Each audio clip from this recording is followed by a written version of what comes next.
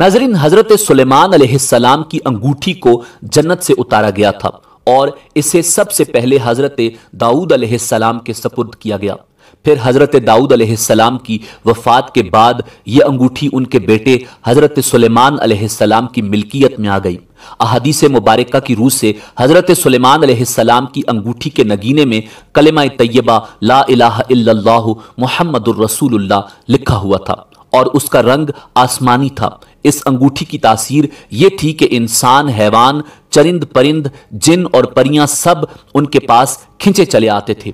हज़रत सुलेमान सलाम सरकार दोआलम सल्लल्लाहु के नाम की अंगूठी पहनकर उमूर सल्तनत बड़े अच्छे तरीके से चलाते थे और जब ये अंगूठी उनके पास न होती तो उनके दिल को सुकून और इत्मीनान न होता।